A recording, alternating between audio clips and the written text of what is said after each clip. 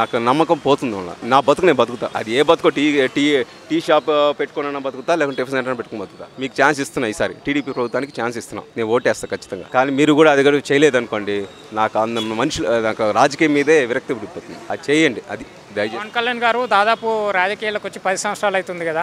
ఆయన కూడా ఒకసారి అవకాశం ఇవ్వండి మేము చేస్తామని చెప్తుండే ఆ విషయం ఎట్లా ఇస్తాం ఇస్తాం అవకాశం ఇస్తాం. ఆయనకు కూడా అవకాశం ఇస్తాం. ఇప్పుడు ఆయన కూడా చేస్తానంటున్నాడు సంతోషమే. ఇప్పుడు పవన్ కళ్యాణ్ గారికి క్యారెక్టర్ ఎలాంటిదంటే పది రూపాయలు పెట్టే రకం కానీ పది రూపాయలు తీసుకునే రకం కాదు ఆయన ఒక మనస్తత్వం ఎలాంటిదంటే ఆయన మనస్తత్వం ఎలాంటిదంటే నేను ఇచ్చేస్తాను నా దగ్గర ఉండదంతా ఇచ్చేస్తా. కాకపోతే నేను ఏది రూపాయి కూడా పెట్టుకోను నేను అందరికి ఇచ్చేస్తాను ఇప్పుడు కూడా సరే నేను రాజకీయాల్లో ఒక డెవలప్మెంట్ చేయడానికి అంటే పది మందికి హెల్ప్ చేయడానికి నేను రాజకీయాలు మెయింటైన్ చేయాలి కాబట్టి నేను సినిమాలకు వెళ్ళి నటిస్తున్నాడు కష్టజీవే కదా ఆయన కూడా. ఏదో కోట్లు సంపాదించుకుంటున్నాడు వస్తున్నాడు ఇక్కడ ఖర్చు పెడుతున్నాడు బాగానే ఉంది. నేను ఆయనకే వేస్తాను ఈయనకే వేస్తా తేడా ఏం లేదు. ఇప్పుడు వాళ్ళు పొత్తు పెట్టుకున్నారు కాబట్టి ఇద్దరు ఒకటే. నెక్స్ట్ నేను చెప్పడం ఏంటంటే నువ్వు కూడా రా- మీరు కూడా రండి. సీఎంగా మీరు కూడా రండి.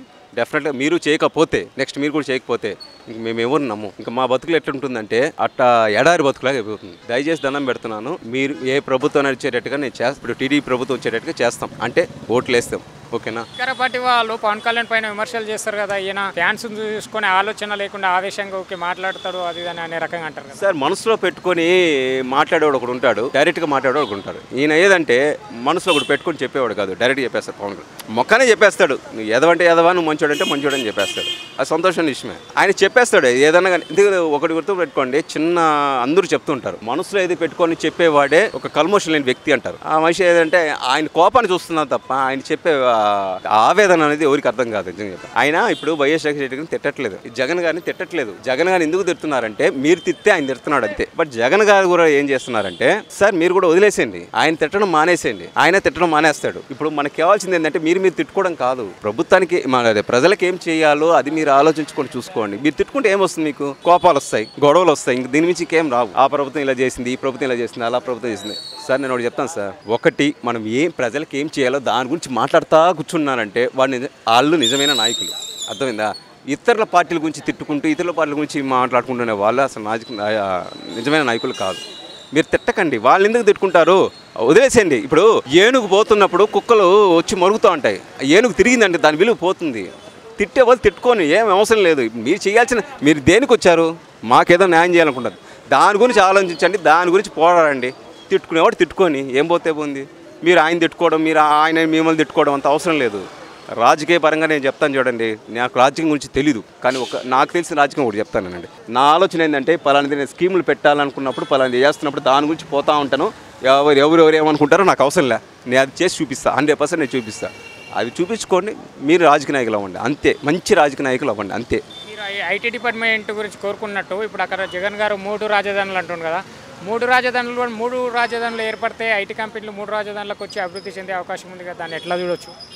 కరెక్ట్గా చెప్పారు ఆ పాయింట్ గారు చెప్పారు. సార్ ఒకటి చెప్తాను. ఇప్పుడు ఇక్కడ ఒక రాజధాని ఉంది. ఫస్ట్లో మనం కలిసి ఉన్నప్పుడు రాష్ట్రంగా కలిసినప్పుడు ఒక రాజధాని ఉంది. ఇప్పుడు విడిపోయినాం.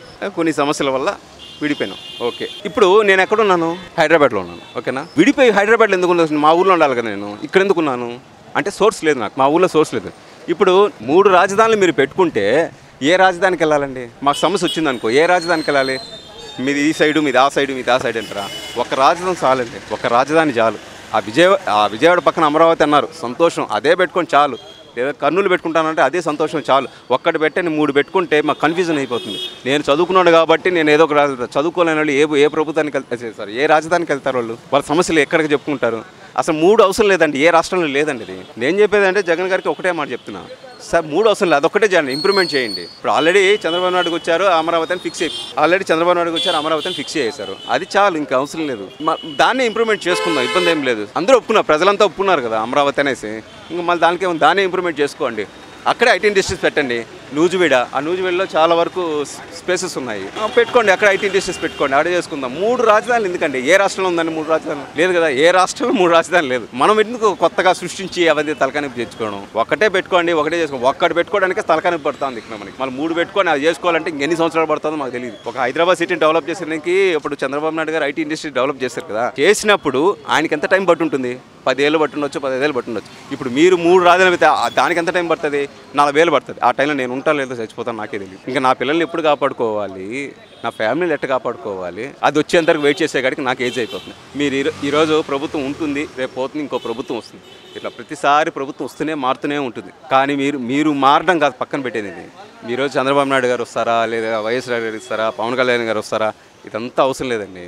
నేను చెప్పడం ఏంటంటే ఏ ప్రభుత్వం వచ్చినా మాకు మేలు చేసేటట్టుగా చెయ్యండి ఫిక్స్ అవ్వండి కూర్చోండి. మీరు నిక్కార్సంగా కూర్చునేసండి ఇది చేయిస్తాము ఏ ఒక్క నోట్లోంచి కానీ నెగిటివ్ మాట రాకూడదు. కొంతమంది నెగిటివ్గా ఎట్లా వస్తుందంటే ఏదో డబ్బులు ఇచ్చి కావాల్సిందే మీడియా మీద చెప్పిస్తారు. అది వదిలేయండి అది వాళ్ళ కుక్కలతో కుక్కలతో సమానం. ఏది కొంతమంది ఇచ్చేదో ఈ ప్రభుత్వం గురించి ఇలా చెప్పు ఆ ప్రభుత్వం గురించి ఇలా చెప్తాను. వాళ్ళ కుక్కలు వాళ్ళు వదిలేసేయండి.